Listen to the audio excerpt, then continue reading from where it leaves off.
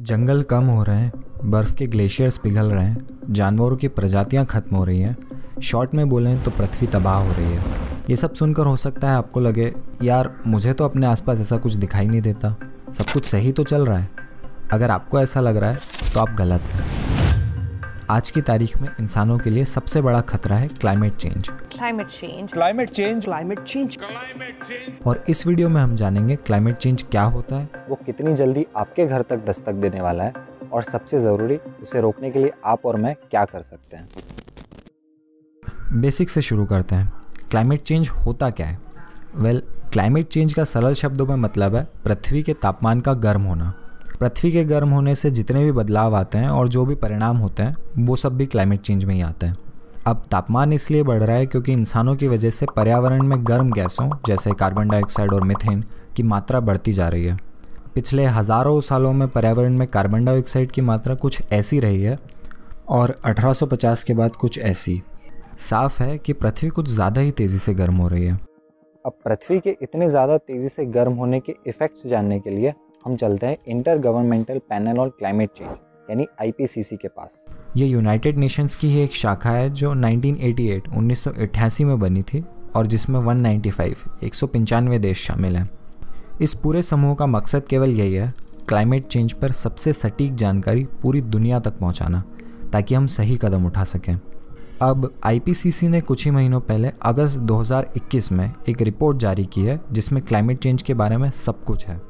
इसी में हमें पता चलता है कि औद्योगिक क्रांति या इंडस्ट्रियल रेवोल्यूशन के बाद से पृथ्वी एक डिग्री सेल्सियस तक गर्म हो चुकी है जो कि सुनने में कम लगता है और हो सकता है आपको भी लगे यार ठीक है एक डिग्री सेल्सियस तापमान बढ़ भी गया तो मैं सहन कर लूँगा। जबकि ऐसा बिल्कुल नहीं है। पूरी पृथ्वी के केवल एक डिग्री सेल्सियस तापमान बढ़ने से दुनिया में हीट वेव्स यानी गर्म लहरें बहुत बढ़ चुकी हैं। पिछले 50 सालों में हीट वेव्स के कारण भारत में ही 17,000 मौतें हो चुकी है। भारत पहले ही गर्म देश है और यहाँ के 17 राज्य कोर हीट वेव जोन्स हैं। यानी जैसे जैसे हालात बिगड़ेंगे यहाँ हीट वेव्स का बहुत बुरा असर पड़ने वाला है। कुछ महीने पहले जून 2021 में कनाडा में तापमान 50 डिग्री सेल्सियस तक पहुँच गया। Dozens of people in the vancouver area of western canada have died in an लोगों का बाहर निकलना मुश्किल हो गया और कहीं जाने भी गई। अमेरिका के प्रेसिडेंट जो बाइडेन ने भी माना कि इंसानों द्वारा किया गया क्लाइमेट चेंज ही इन भयानक हीट वेव्स का कारण है। अब बात केवल गर्मी की ही नहीं है। क्लाइमेट चेंज से और भी प्राकृतिक आपदाएँ एक साथ आती हैं और भयानक हो जाती हैं जैसे सूखा और बाढ़।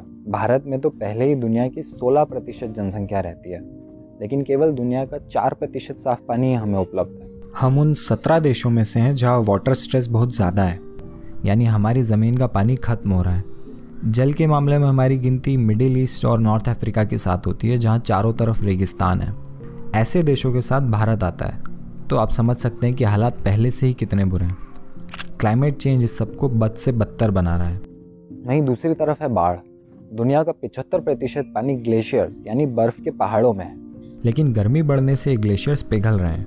इससे एक तरफ़ तो पानी की कमी आ रही है और दूसरी तरफ़ समुद्र के पानी का लेवल बढ़ रहा है। समुद्र के पानी का लेवल बढ़ने से गुजरात से लेकर आंध्र प्रदेश तक गाँव के गाँव पानी में डूब रहे हैं। उदाहरण के लिए गुजरात में समुद्र के करीब वैकरिया हनुमान मंदिर है। आज से 17 साल पहले यानी 2004 में इसके पास एक नदी थी और उसके बाद समुद्र की रेत। लेकिन धीरे धीरे समुद्र के पानी का स्तर इतना बढ़ गया है कि सिर्फ़ एक पत्थरों की दीवार ने समुद्र को मंदिर तक आने से रोक रखा है। आने वाले समय में यह मंदिर निश्चित रूप से डूबने वाला है। यूनाइटेड नेशंस का कहना है कि अगर हम इस सदी के अंत तक तापमान को डेढ़ डिग्री सेल्सियस तक ही बढ़ाते हैं तो सब कुछ ठीक ठाक रहेगा और हम सुरक्षित रहेंगे। अगर हम दो डिग्री सेल्सियस तक भी बढ़ा देते हैं तो भी परेशानी होगी, लेकिन काम चल सकता है। अब समस्या ये है कि जिस तरह हम अभी चल रहे हैं, हम केवल अगले 10 सालों में ही डेढ़ डिग्री सेल्सियस तक पहुँच जाएँगे। और 2080 तक धरती का तापमान 3 से 4 डिग्री सेल्सियस बढ़ने की उम्मीद है। आईपीसीसी की रिपोर्ट के सहारे नासा ने एक ऑनलाइन टूल बनाया है, जिसमें बताया है कि कैसे आने वाले सालों में समुद्री पानी का स्तर बढ़ने वाला है और किन शहरों के डूब जाने का खतरा है। इसमें भारत की भी कई प्रमुख जगहें शामिल हैं, जैसे मुंबई, चेन्नई, विशाखापट्टनम और कोची। भारत की खुद की क्लाइमेट चेंज रिपोर्ट जो कि पिछले साल ही पब्लिश हुई है, बताती है कि भारत में हीट वेव्स इस सदी के अंत तक चार गुना तक बढ़ने वाली हैं। यानी जितने लोग अभी हीट वेव्स गर्म लहरों से मरते हैं उससे कहीं ज़्यादा मरने वाले हैं। अगर ये सब देखकर भी आपको लग रहा है कि, अरे, ये सब बकवास है, मेरे घर तो रोज़ पानी आता है, एसी लगा है, मुझे तो कोई दिक्कत नहीं। तो आपकी हालत कुछ ऐसी है। आपको लग रहा है नाव में छेद आपकी तरफ़ नहीं, दूसरे की तरफ़ हुआ है। यानी दूसरे देशों या इलाकों में समस्या आएगी, आपके घर में नहीं।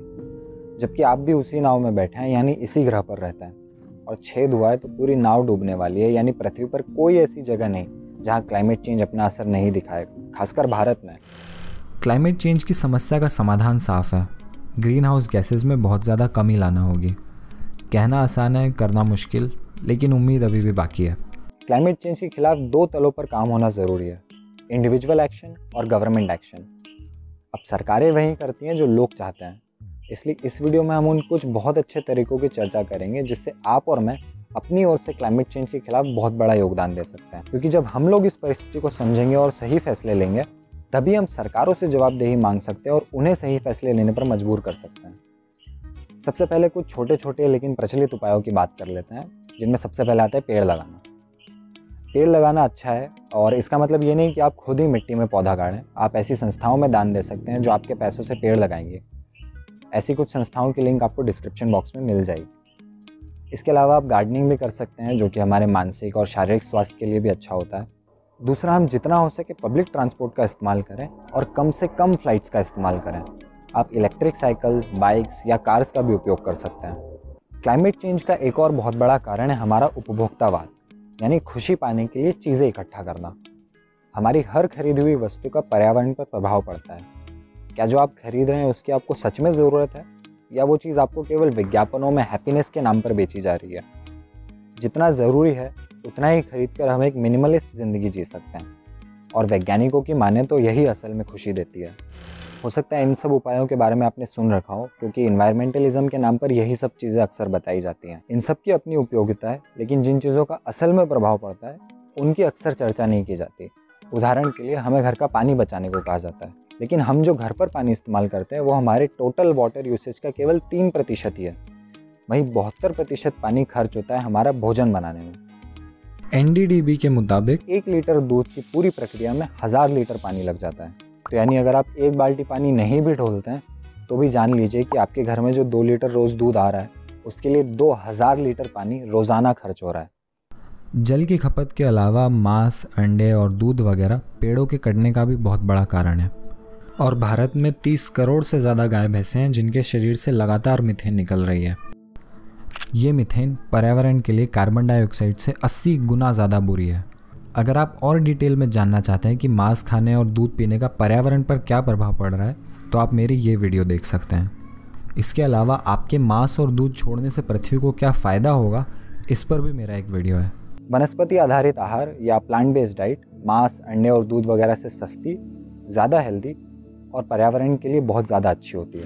इसके अलावा एक और बात जो शायद इस सबसे ज़्यादा ज़रूरी है आज का फैक्ट ये है कि एक बच्चे के पैदा होते, उसके कारण हर साल साठ टन कार्बन डाइऑक्साइड पैदा होना शुरू हो जाती है। दूसरी ओर जब आप एक पेड़ लगाते हैं तो वो 40 सालों में एक टन कार्बन डाइऑक्साइड सोखता है। 40 सालों में तो बच्चा 2400 टन कार्बन डाइऑक्साइड पैदा कर चुका होगा। हमें खुद से ये भी पूछना चाहिए कि जब हमें पता है कि धरती की हालत बहुत ज़्यादा खराब होने वाली है, चारों तरफ़ हाहाकार मचने वाला है, गर्मी, बाढ़, सूखा और भी प्राकृतिक आपदाएँ कई गुना बढ़ने वाली हैं तो क्या ऐसी दुनिया में एक नए बच्चे को लाना जायज़ है? और वो भी तब, जब पृथ्वी के संसाधन, यानी रिसोर्सेज बिल्कुल ख़त्म हो चुके हैं और हर नया बच्चा पृथ्वी पर सीधे सीधे बोझ है।